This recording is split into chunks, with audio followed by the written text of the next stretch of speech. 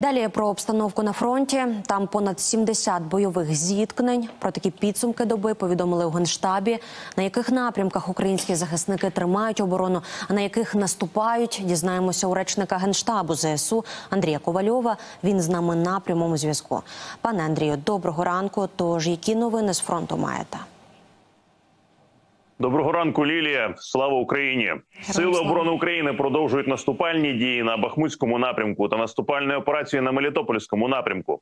На Бахмутському напрямку наші захисники продовжують штурмові дії південніше Бахмута Донецької області, завдають ворогу втрату живій силі та техніці, закріплюються на досягнутих рубежах.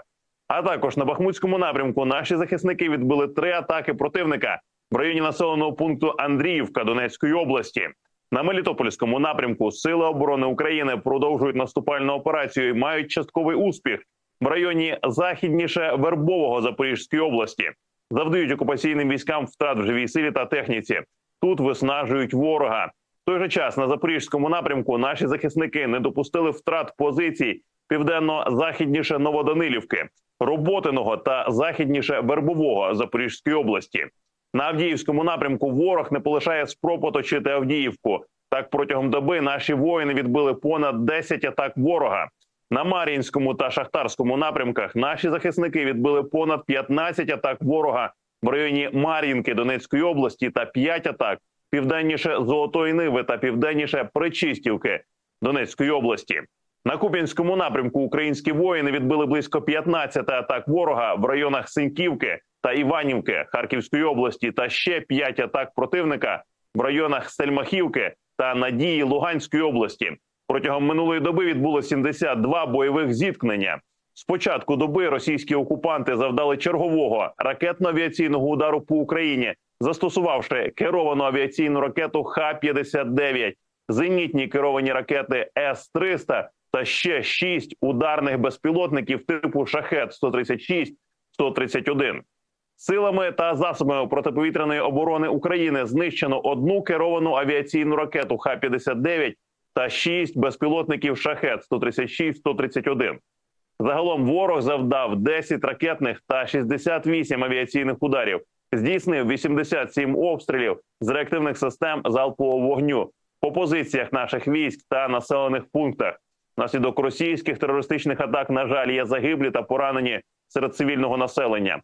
Руйнувань та пошкоджень зазнали приватні житлові будинки та інша цивільна інфраструктура. Лілія. Які останні новини маєте про втрати російських загарбників?